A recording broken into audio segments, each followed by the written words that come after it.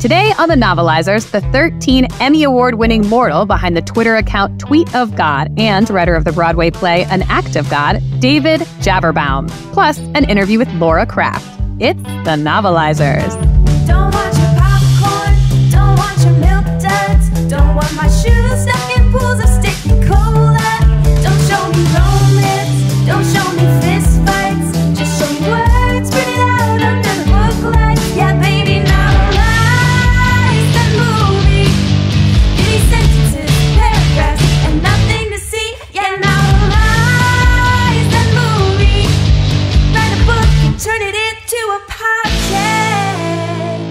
Welcome to The Novelizers, the podcast where we take classic films, then get comedy writers to turn them into funny books, which are then narrated by actors and comedians. Decades ago, a little movie hit the theaters starring Keanu Reeves that was way ahead of its time. It shook the world and made audiences question the universe and our place in it, even the nature of space and time. That movie was called Bill and Ted's Excellent Adventure. Then, a couple years later, Keanu starred in another movie called The Matrix, where the world was just a giant simulation run by evil computers. Is the world just a giant simulation? Christine, Kevin, what do we think? Yes. Definitely. Christine, simulation? Uh, yeah, yeah. We're probably a simulation at this point. 50-50? yeah. Yeah, I mean, uh, there's too much crazy shit going on every day to think there's not some sort of uh, simulation here, right? Before we dive into today's chapter, Kevin, what has happened in the movie so far? Where are we in the Matrix? All right. So the cops, at this point, the cops are running in to catch Trinity. Agent Smith tells them they won't succeed. I mean, he's trying to let them know. Then Trinity fights the cops, whoops their ass. She has kung fu superpowers. Then she gets pulled out just in time. Haven't even met Keanu yet. Amazing. Okay, well, let's uh, find out what happens next in our story. But first, here at the Novelizers podcast, we see ourselves kind of like Morpheus's ragtag gang of rebels. Instead of a giant evil matrix, we're fighting against boredom. And we don't do it with our hacking skills. We do it by novelizing movies in a funny way. And just like in the Matrix, there is a chosen one, and that chosen one is you. But you don't win this war by taking a bunch of pills and learning kung fu. You do it by donating a buck a month, or maybe five if you're Keanu, to our Patreon page. So fulfill your destiny. Look up the Novelizers on Patreon today. Chip in a little money keep our rebel group of novelizers going. Plus, you could leave us a good review wherever you're listening to this podcast. And thank you. Now let's get back to the story. Today's chapter was novelized and narrated by David Javerbaum. He's done everything. Been the head writer of The Daily Show with Jon Stewart. He's written for Beavis and Butthead and James Corden. He created the Twitter account The Tweet of God with over 6 million followers. It's more than some religions. And like the actual God did to mankind, he abandoned Twitter when it displeased him. David Javerbaum, novelize us. Chapter 2 The Adventure Almost begins. Novelized and narrated by David Javerbaum. The apartment is, in itself, nothing special. Just an ordinary 500 square foot studio apartment, the kind that rents for, say, 1500 a month although the guy across the hall only pays 950 because his rent stabilized and he moved in the day of the Challenger explosion, which you know because every time you see him, he says, Do you know when I moved in? The day of the Challenger explosion. And the disrespect showed to the seven astronauts who died never ceases to infuriate you. But I digress. What makes this apartment special is its contents. It is stuffed floor to ceiling with technology, or as it is known in the American South, technology. Serpentine cables coil everywhere, winding up and around the legs of desks and couches like a hundred cobras trying to mate with furniture. The tabletop is overflowing with jerry rigged computer equipment, scavenged from offices and repair shops, all of it laying still, exposed, vulnerable, like an anesthetized patient on an operating table, except no doctor is loudly mocking the size of the equipment's penis. And at the center of this high tech sprawl, asleep in front of a computer screen, is our hero, Neo, who looks exactly like John Wick. Neo's dream about electric sheep, blatantly plagiarized from Philip K. Dick, is suddenly ended by a beeping sound coming from his computer. Barely awake, he gazes at the screen and sees the words, Wake up, Neo. At first, he believes it to be merely the brand name of a new Hawaiian computer, Wake Upadio. But then, realizing no such computer exists and that that thought was stupid, he grows puzzled. He hits Control X, but the letter T appears. Wah? He says, with an upwards glissando of a full octave on the ah. He hits another button, and H appears. Then another button, and another, and another, and another. What the hell? he asks, although no one else is there, and I am a conscientious author who never interferes with the events of the narrative. He hits the button ESC, short for Escalade, a popular SUV manufactured by Cadillac, and another message appears Follow the White Rabbit. He hits ESC again, and the message repeats, followed by another Knock, knock, Neo. Just as he was dreading the knock knock joke his phantom interlocutor was seemingly about to tell, an actual knock on the door almost makes him jump out of his chair. Who is it? Neo asks.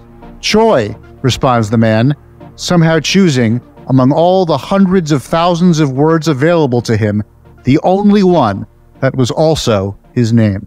Neo opens the door to find Choi there with several of his friends. You're two hours late. I know, it's her fault. You got the money? Two grand. Those lines were said by Neo, Choi, Neo, and Choi, respectively. I probably should have mentioned that at the uh, at the time.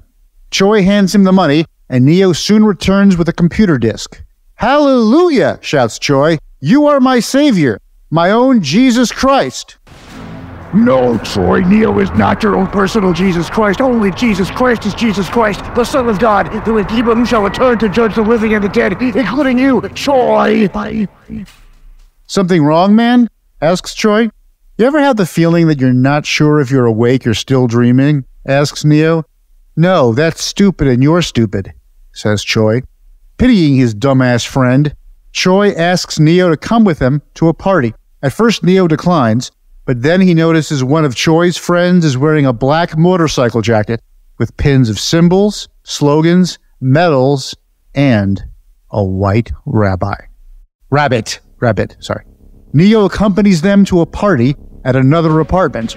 The rent on this one is 1900 which for a two bedroom in that neighborhood is actually pretty good, especially since it still has the original floors.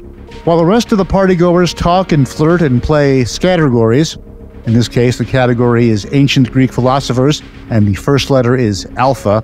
Neo stands against a wall, sipping a bottle of beer, alone, out of place, a square peg in a hole that was also square, but smaller than the peg and therefore incapable of accommodating it. Suddenly, he notices a woman staring at him. A hot woman. You will have to say that now, that a woman is hot? I mean, I, I'm not objectifying her. I'm just trying to add some, you know, narrative color. I mean, she's a lot more than hot, obviously. She's smart and she's. Anyway, the woman is Trinity, and she walks straight up to him. Hello, Neo, she says. How do you know my name? He asks. I know a lot about you, she answers. I've been wanting to meet you for some time. Man, just once I'd like to have a girl come up to me and say she's wanted to meet me for some time. If that ever happened, you know what I'd say? I'd be like, Yes. Who are you? asks Neo. My name is Trinity, replies Trinity, duh. Trinity? The Trinity? The Trinity that cracked the IRS database? See, now she's not the hot girl, she's the brilliant hacker girl. It doesn't even matter what she looks like. She could even be ugly, which some girls are. Boys, too. I'm just saying. Was that you or my computer? asks Neo. She nods. How did you do that? asks Neo. None of your fucking business, says Trinity. Right now, all I can tell you is you're in danger. They're watching you. Who? Please, just listen. I know why you're here, Neo. I know what you've been doing. I know where you live and what time you get home and which rooftop provides a clear shooting angle through your apartment window. And I know why, night after night, you sit at your computer. You're looking for him. You are looking for him. Masturbating to internet porn, but then looking for him. By now, their bodies were against each other's, her lips so close to his ear that if he had any hair sticking out of his ear, it would have poked them. But he was 30, and ear hair usually doesn't start until you're around like 45. I know because I was once looking for the same thing. But when he found me, he told me I wasn't really looking for him. I was looking for an answer. Her voice was hypnotic, and Neo could feel her words seeping into his body like sludge through a centrifuge.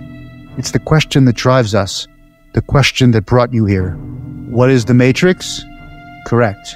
Okay, I'll take 90s movies for 800. Wait, what? Are we playing Jeopardy? I don't know. Are we? Never mind, says Trinity. When I asked him, he said that no one could ever be told the answer to that question. So that it wouldn't work on Jeopardy. What? Like when he says the answer, does he actually mean the answer or the question? What are you talking about? I'm just saying if he means the answer, he needs to frame it in the form of a question. No, Neo, because the answer is out there. Okay, but see, in that case, the question would be where is the answer? And then the answer would be out there. Neo, if you're our savior, we're not worth saving. Thank you, David. Each week on the show, we sit down with someone who worked behind the scenes on the film The Matrix. Kevin, let's roll that tape. All right. Uh, we are here today with Laura Krafft, who is the Matrix intimacy um, curator, choreographer, however you want to do. I'll, I'll let her explain it. Uh, Laura, how you doing today? Uh, I'm doing well. Thank you so much for asking. Yeah, I'm okay. I'm okay. It's, so, how do you properly say what it is you do on what you did on the set of The Matrix? I'm a matrix coordinator. So That was a lot easier than what I did. I, I, I did a whole thing, and it's just Matrix coordinator. look, it's um it's a tricky field. It's very limited. It's not as well known as a lot of the other uh, crew jobs. So that's not that's not surprising. Understandable. I think, um, glad you're here today. Um, so, for those who don't know, what is a Matrix coordinator? Basically, it's my job. It's my honored responsibility and joy to be the person responsible for making sure that the actors are comfortable with the matrix. The matrix is uh it's everywhere. It's all around them. It's, you know, part of the movie. It is the movie. It's around the movie. It's under the movie. It's the cameras in the movie. It's the actors in the movie. It's the story of the movie, but it's also the movie. It's the matrix. It's everywhere. If, I, if I'm being honest, um, that was actually better explained Yeah. than anything Laurence Fishburne said in the movie itself. Thank you. When he played the role of Morpheus, I worked with Lawrence for a long time on this because he didn't quite understand. It's it's it's everywhere. And I, he kept saying, you know, what about my shoe? I said, yes, that's the Matrix. And he would say, well, this dog over there. Yes, that's the Matrix. I'm eating a hot dog. Yes, that's the Matrix. We are in the Matrix. We are the Matrix. How do you get comfortable with it? And the secret that no one ever talks about is you never will. You never will. So, so how was it like? Because, and then that, maybe I could be wrong, but it just seemed like Laurence Fishburne didn't do a good job of explaining what the hell the Matrix was. I left the, the movie theater still confused, still confused about what was happening. How, so, like, did he do a good job in your eyes, or what? Or is there still some holes missing? Um, well, Kevin, I thought he did a wonderful job because I coached him. So for you to leave the theater not knowing, I'm not going to say it was you as a viewer, your responsibility, the onus being on you, but um, I thought he did a really good job. He said the Matrix is everywhere. He said it. He said it in the movie. He said it on set. He said it to his friends. He said he told. He said he talked about it with his family. The Matrix is everywhere, and he understood that. So You know, I got a Reddit that says, you know, asking what is the Matrix, and a lot of people are following it and they're commenting on having the same concern, not knowing what the Matrix is. Um, but but it's okay, you know, because you're here and you're the coordinator, and yeah, you know, what I'm saying maybe maybe maybe the, the the the one million people that follows the Reddit, maybe we're the dumb ones, right? You know, maybe we're stupid. Um, so it makes sense. uh, let me ask you this: Did you see the movie in a theater? You you did. Yes, I saw it in the theater. Yes, Okay, that was the Matrix. Did you eat popcorn? yes, That was the Matrix. Did you drive home in a car? yeah. I rode I rode home in the car, passenger seat. Yes, Yeah, Matrix. Was it on a highway or service streets? uh, a little bit of both. Yep, Matrix. So you were in the Matrix, and that might be why you were having a hard time understanding what the Matrix was. It's because you were in it. You're in it now. This is the Matrix. We are in the Matrix, and basically, that's kind of all you have to understand. That's my job. Yeah. You, you you're kind of seeing it in a nutshell. You're feeling it in a nutshell. Uh, yeah, I, I get it. You know, so everything around me is Matrix. You know, I, I mean, I'm here. I'm here now. Um, what got you involved? Like, what made you want to explore and understand the Matrix? I can tell you the day I realized I was in something. I didn't have a name for it yet. I was nonverbal at that moment. I was laying in a crib. I remember there was a ray of sunshine that came through the window Mhm. and fell upon me and there were dust particles in that window or in that in that ray of light and i thought this is something i'm in something and from that point on as i learned how to walk talk uh, read write uh, roller skate skateboard etc i would always think i'm in something. There is something.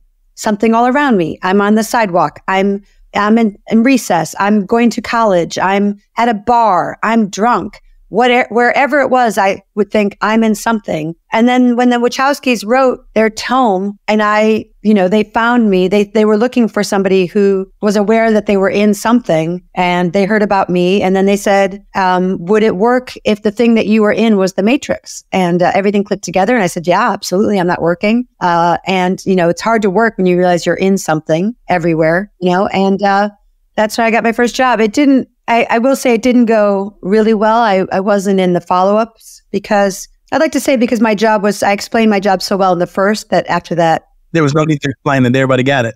they got it. Yeah. They were in the matrix.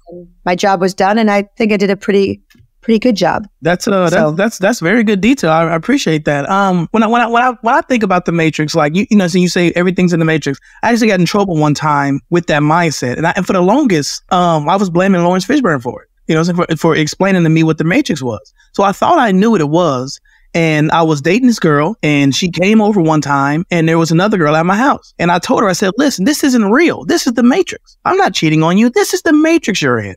And she and she and she punched me, and and I don't think she understood what the Matrix was. Eh, But it it, it didn't it didn't work for me that time. And I was mad at Laurence Fishburne for a solid 15 years. Did you try to bend the matrix or were you just sort of explaining to her that she was in the, if you had tried, I'm sorry I wasn't there because I would have been very helpful. Mhm. Sometimes you have to bend the matrix. And in that case, I would have recommended bending the matrix and maybe even putting a hole in the matrix so that you could have the situation with one person basically slide through the situation of the other person without either of them knowing Yeah. that the situations were occurring. Yeah. Which you do, but you know, you you have to you it's not just something that happens. You have to think about it. Yep. I I that's how I live my life. I think about it a lot. The other day I went to the mall and uh there was a very, very small parking space and I have a compact car, a hybrid, not to brag. Uh-huh. And uh I got my car into that space because of the matrix. And then I got myself out of the car. I had to enter, exit out of the uh, the back, um, flip up uh, hatchback, but I did it because of the matrix. So, So so are you are you are you you saying the the the the parking space that was there that your car fit in to the parking space? You're saying that wasn't the fact that you you're you're you're you're crediting the Matrix for that. in the matrix. is the so it seems like you're using the phrase the matrix as if it's a god or something where it controls all and sees all and is all is, is that is that a correct statement that i'm saying I would say the God, a God is in the matrix. wow okay yep yep yep that that tracks that tracks The trap. Mhm. You getting it now? yeah that Kevin, are you? no, I, I- mean this? i'm not getting it but i'm getting it you know I'm, I'm getting it i'm, de- I'm definitely getting it That's it. Yeah. That's getting it. Not getting it is getting it. It's the matrix. You're in the matrix. Bend it. Play with it. Have fun with the matrix. That's what I tell people. Yeah. Keanu, I told Keanu, have fun with the matrix. And he is having a blast with it. He still uses it all the time. I can tell. Mhm. I'm not in contact with him, but I, I see him on the internet. I see him in magazine pages and you can tell he's enjoying the matrix. He's never left it. was there was there anybody on set that you felt like they just they, they couldn't they couldn't wrap their head around it and they, and they couldn't fully embrace what what was happening was there anybody like that or you think everybody just everybody was just cool with the matrix There was one person who was very hard to get through to, uh, Joe Pantaleone. Uh, I'm not I'm pronouncing his last name correctly. Um, he was very difficult. I don't know if it was most people's mindsets can take in the matrix, but occasionally there's somebody who, through like a long and storied either nature or nurture, nobody really knows exactly which one, they just aren't able to take it in. Mhm. And he wasn't able to take it in. He wore goggles. He was able to say pithy lines. He could not take in the matrix. And I'll always feel sorry for him about that because he's really missing out. so where where's your line when you when you say okay this person just isn't going to get it what like because you seem like a type of person that, that you know saying that you can make anybody a believer so so the fact that he didn't get it what what struck to you to where it's like he's he just won't get it what what, what happened You can tell. It's one of those things. Um, you probably have to be you, you have to be very knowledgeable Mhm. to understand and you spot it. But I would say it's mostly his eyes because his mouth was saying, "Oh, I get it. I understand. It's not that tough. It's just everywhere. I get it." And I said, even that, that sort of flippancy, that pshaw, it's just the matrix, is an indicator that you don't understand the matrix. So Okay, yeah, make makes sense. I tried to show him on every level the intimacy of the Matrix. I went to his trailer. I knocked on the door a lot. He, he couldn't even answer the door uh, after repeated knockings. And I took a little, I would take naps on the steps of his trailer. He couldn't even open them. That's how much he didn't understand the Matrix. Uh, he asked people to keep me away from him. That means to me that he didn't understand the Matrix. You know, there were there were several signs. There were red flags, if you will. Yep, red flags. Um, Mhm. who created the Matrix? Well, that's the great unknown, isn't it? Isn't it? I just feel like somebody with with your um, expertise on you know what I'm saying on the, the the matrix and stuff. I, I felt like because I feel like every everything has a creator, and I just you know just just for the listening listeners out there, I just thought you know what I'm saying that may be something you would know un- unless there's a situation where you know you do know and you can't say, which is fine as well. But you know it's the, it's the viewers who wants to know. I think that even the questioning, Yeah. uh, what is the matrix, who is behind it, is fear based because there's sort of like, uh, what if it's somebody I know?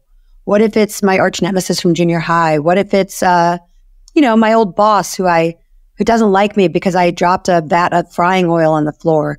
A- any of these people, you know, could be the person or the entity behind the matrix. So I really think it's best not to question too deeply and rather to take choose the path of acceptance. Just accept it. so so so that's where I'm getting because and I think that's where my my my stupidity lies because I mm. felt I'm not saying for sure I felt Laurence Fishburne was telling us in the movie question everything. Are you breathing air? Is this air you're breathing? How do you know? Question it. You know, but now you're saying mind your business. Don't question nothing. Just let it happen. I would say one of the ma- it, if the Matrix was to have a motto, mm-hmm. I would say that that motto would be mind your business. Okay. Just mind your business. Don't worry about it. Don't count other people's matrices. Yeah. the- okay. Yeah. Don't don't count it. You know, let let, let them have their matrices. Yeah, live in your matrix. Okay. because it's everywhere and it's everything. Earlier today, I was I was peeling an apple, Uh-huh. and I I snagged a little bit of my fingernail matrix. That's not just because you was pulling too hard. Nope. I wish it was. That would that would be a great explanation, but it's the matrix. So so you so has there been anything that has happened in your life that at one point you questioned the matrix where you was like, is this real or is this this can't be the matrix? The matrix wouldn't do this to me. This can't be the matrix. Or have you always been a blind believer? The only time I've ever questioned the Matrix was when I wasn't invited back to the sequel to the Matrix. And I thought to myself, I don't understand it. This is the movie that is named for the concept that I understand the best. And yet somehow they're not asking me back. And, and I was confused. And I asked, went down the path of asking everybody I'd ever met on that movie, are you going back? I'm not coming back. Is there a reason I'm not coming back? And I would call them and I, and I would, I would write them letters and I would, uh, and I would do everything. I would show up at places I knew that they frequented and they, they eventually said, just live in the matrix and let us live, live in your matrix and we're going to live in our matrix and please, please stop coming into our matrix. And I thought, okay, I can respect that, I guess. It's hard to understand. I'm grappling still, Mhm. but I, can accept it. Yeah, I'm sorry that it happened to you because based on your conversation, you have a wealth of knowledge about the Matrix. And like I said, I like I'm I'm truly sincere about this. I'm sorry that it happened to you. Um, but I wanted to bring some up to you. Um, you know, I'm I'm I'm in the I'm in the business and I'm I'm writing screenplays and writing scripts and everything like that. Um, and I have an idea for a a movie. Um, and I didn't really, I didn't know what the, the, the full name of the movie would be, but now I know. Cause I was already going to call a movie called The Matrix. I was going to call it The Matrix, but now we have like a little tagline. The Matrix, Laura's Revenge, you know, and I feel it can be like a sci-fi horror, horror Mhm. com, like a, like a horror Horror. comedy. Please, please, uh, please say horror Horror, because otherwise, okay, horror. Ho- horror. Yeah. Like, like, It's like, very close. that's, that sounds like it's like, it sounds like it's a horror doing horror things, but I'm, I'm in like a horror movie. Thank you. May I, may I recommend a re a retitling? Yes, yes, yes, Just- yes, please. Just the real Matrix. The real Matrix. Oh, The real Matrix. Laura's Revenge. Laura's Revenge. Sure, I, I really like the Laura's Revenge part. I'm sorry. I just, it's, it's gold. I think it's gold. I love it. Okay, I mean, the real Matrix of Laurel's- Revenge. And then you can you can kind of run the whole thing. You know, so you're you're the consultant. You run everything. You let people know what's going on. We we'll go into the Matrix. We'll sit there for a little bit, chill, relax, have a Manhattan. You know, and and then really and really and really indulge. You know, say in the Matrix and stuff. Kevin, are you being sincere? Is this really happening? I, I listen. I, I I I I am a visionary. I have ideas up here, and I just need I just need a place to let it go. Right. I I, I just need a door, and I'll walk through it. It's okay. I'll walk. I just need the door. I would really, um, I really could use that right now. I could use being in that that movie with you. That would be amazing. I I accept this deep and amazing challenge. Is potential for a life that will finally be fulfilled. I accept this challenge with great gratitude. I, I appreciate it. I, I, I guess the Matrix just took over in me. You know, it it was it was the Matrix that was doing that. It wasn't me. It was the Matrix. You know, so your, your time is now. I, I, I say we do this. I, I, I do have a car, as, as I stated a little braggily earlier. I could make it out to you if you could just send me a detailed um, map of where you live and how I could get there, and uh, and I will see you very shortly. Yeah, yeah. That, that, that's. what- I mean, I mean, I feel there was there's more to go into the into the movie. But if you want to come on over, you know, so that that'd be that that'd be great. You know, so I got a I got a one bedroom half bath. I, I take showers outside when it rains. That would be my honor. That would be my most heartfelt honor. Truly. I, I appreciate it. We, we well we, we got something going. We got something going. Well, I want to uh yeah, I want to thank you for joining us for uh this interview. It was great to get to know you and I I'm pre- I am appreciative of your knowledge on the Matrix. Thank you. It was a real pleasure to meet you, and I will see you very, very shortly. Very shortly. Very shortly within the next day or two. less if I I think I have a way I can drive some back roads very quickly. So you'll see me very soon. All right. Um all right, that's all for us here. Uh you guys take it easy. That's our show for today. Thanks for joining. Join us next time for an incredible episode narrated by Critical Role's Matthew Mercer. Stephen, unplug us from the Matrix. Sure thing, Kevin. Thanks to this week's guests, David Javerbaum and Laura Krafft. Novelizers is produced by me, Stephen Levinson, with Graham Douglas, Kevin Carter, Christine Bullen, Dennis DiClaudio, Rob Kutner, and Suchetas Bokil. Music by Cole Emoff, art direction by Crystal Dennis. Theme song by Andrew Lin, performed by Knotts. Special thanks to YSO Radio in Yellow Springs, Ohio. The Novelizers is a work of unauthorized parody. Follow the Novelizers on Instagram, Threads, Facebook, and TikTok. And please donate to our Patreon. Write to us at thenovelizers at gmail.com. Copyright 2024, Novelizers LLC. Take us out, Aimee Mann. There was a matrix made of computers. There was a guy who could dodge all of the bullets. He lived in fluid, just like a fetus. But he was born again like baby Jesus. Normalize that movie. Write a book and also read